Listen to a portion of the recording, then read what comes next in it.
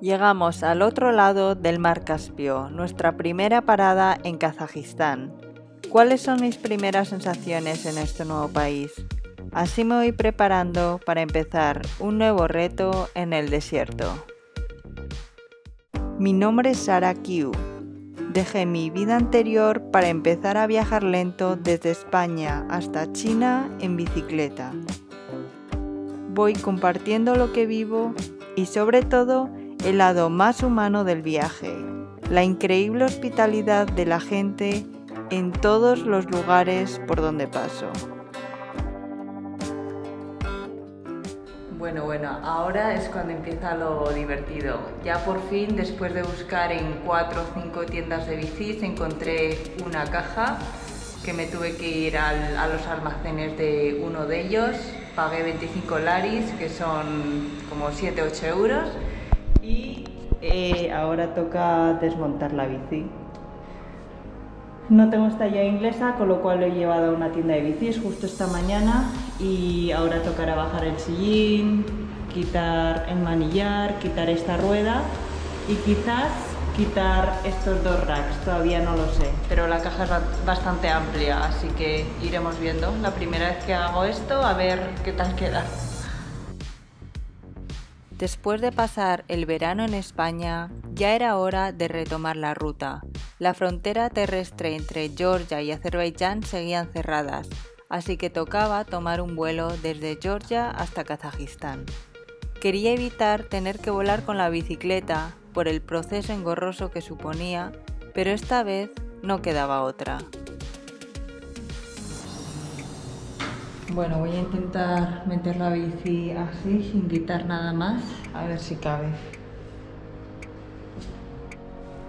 Dos horas después, ya más o menos, está todo hecho.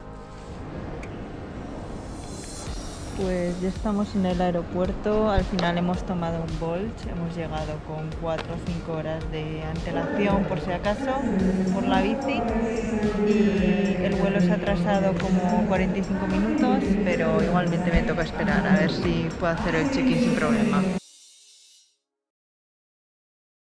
Desde abril del año pasado hemos recorrido Europa y el Cáucaso, 11 países y 9.000 kilómetros Ahora tocaba un nuevo territorio, Asia Central.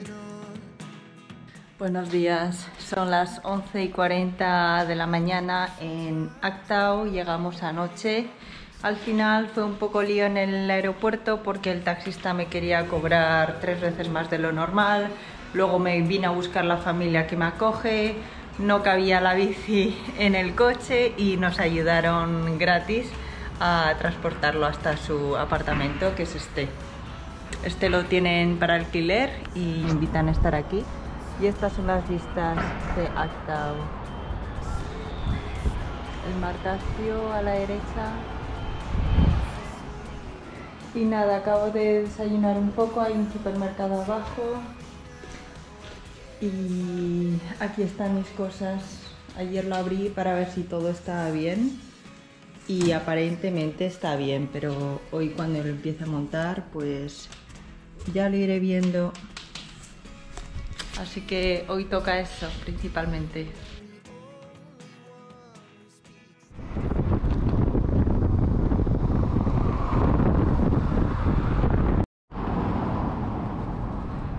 Salido a dar un paseo con la bici para probar si la hemos montado bien y de momento parece que está todo bien. Hoy hace un tiempo perfecto. Voy a quedarme dos o tres días aquí en Actao mientras sigo preparando un poco la ruta y, y voy amoldándome a Kazajistán que no sé nada de este país tenido una sensación un poco rara esta mañana porque de repente es como si se me hubieran disipado los nervios y los miedos que tenía de pedalear en Kazajistán en el desierto. Pero no sé, es como si de repente se hubieran esfumado. Igual es que toca retomar la ruta ya que llevo un tiempo sin pedalear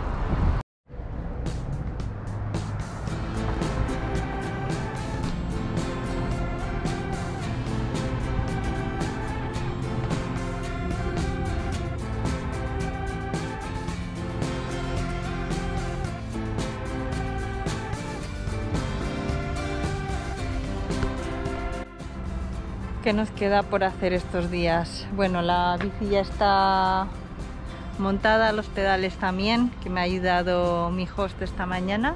Nos queda comprar la tarjeta SIM, comida para varios días y ya está, ya nos podríamos marchar. Mirad las vistas que hay de noche, está súper bonito.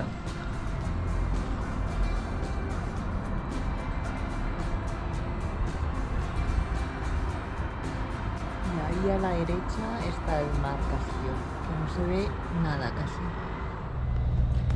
Bueno, yo creo que ya nos podemos deshacer de la caja. Este proceso finalmente ya ha acabado del todo y vamos a ir a comprar la tarjeta SIM de Kazajistán. Adiós, adiós. Pues una media hora después ya tenemos nuestra tarjeta SIM ha costado un rato porque no me cogía el pasaporte, entonces al final el chico ha usado su propio DNI kazajo y así hemos podido darme de alta. Así que un mes me ha costado como 10 euros con la tarjeta SIM incluida y 15 gigas. Ayer estuve paseando por esta zona y mira, os voy a enseñar este monumento que es el Eternal Flame de la Segunda Guerra Mundial por el fallecimiento de no sé cuántos soldados kazajos que participaron, que ayudaron, que contribuyeron en la, en la Unión Soviética.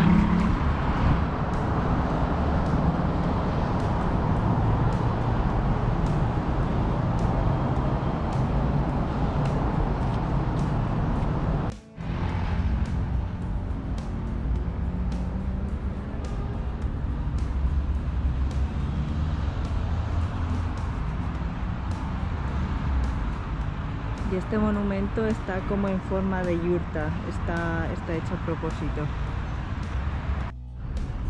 No tengo del todo claro qué es esto, ni eso que veis al frente tampoco, pero estamos muy muy cerca del mar Caspio. Justo detrás de ese avión o de ese caza está el mar Caspio, no sé si lo veis. Antiguamente Actau, la ciudad de Actau, estaba dedicada exclusivamente al petróleo, entonces esta ciudad la diseñaron, la organizaron tal y para acoger a todos estos trabajadores que se dedicaban al sector. Y está como organizado por barrios que lo llaman aquí microdistritos y las calles no tienen nombres sino que son numeraciones. Luego os enseño un pantallazo de, del mapa de Actao para que lo veáis.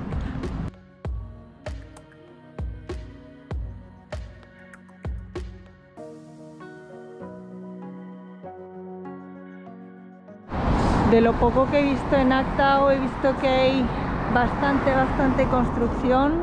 Estas son a primera línea de playa, por así decirlo y mirad estos, este bloque de tres edificios, pues yo estoy en el último, en el piso 19, que la familia con la que me estoy quedando, bueno, ellos están viviendo en otro piso y me han dejado su apartamento que normalmente lo utilizan para alquilar.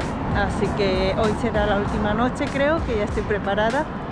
Me falta comprar algunas cosas, las reservas para el viaje y, y ya estaría. Vamos a entrar a este supermercado que lo tenemos justo abajo del apartamento y es súper grande, hay de todo. Mira, mil tengue son como 2 euros, cada lata de atún cuesta como 2 euros o un poco más, pero son un poco más grandes que las de España. Me he cogido una de estas y luego ensaladas mezcladas con atún. Estas son de Turquía. Estas de aquí creo que son de Vietnam. Varias latas de atún, tortitas de arroz, una garrafa de agua, y lo más importante, ya estaba emocionalmente preparada para enfrentarme a este nuevo capítulo del viaje.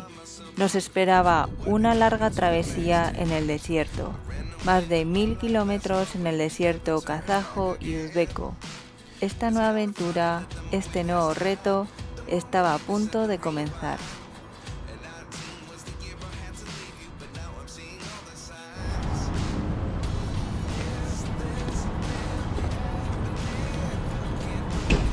Pues yo creo que ya estaría las dos botellas de agua llenas, una garrafa de 5 litros y tenemos el primer pueblo como a 93 kilómetros hoy. Ya está, toca salir, por fin. Hoy es 15 de septiembre, son las 8 y 24, voy a dejarle las llaves a la familia y ya nos vamos.